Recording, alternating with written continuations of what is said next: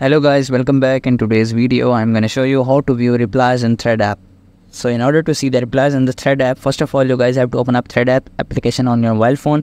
And here what you have to do is just simply make sure that you are logged in with your account. So after logging in with your account, just simply, for example, this is a post. I want to make a reply on this post. So I'm just tapping on it and just simply adding hi, interested. So after tapping on that, just simply click on post and you guys can be able to see I have posted I replied on this post. So if I if you want to check the reply or if you want to view the reply in threads for that you have to simply tap on your profile by just tapping on below right corner of profile icon.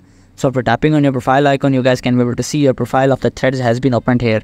In order to check the replies just simply go to just swipe right or you guys can just simply select the reply section here.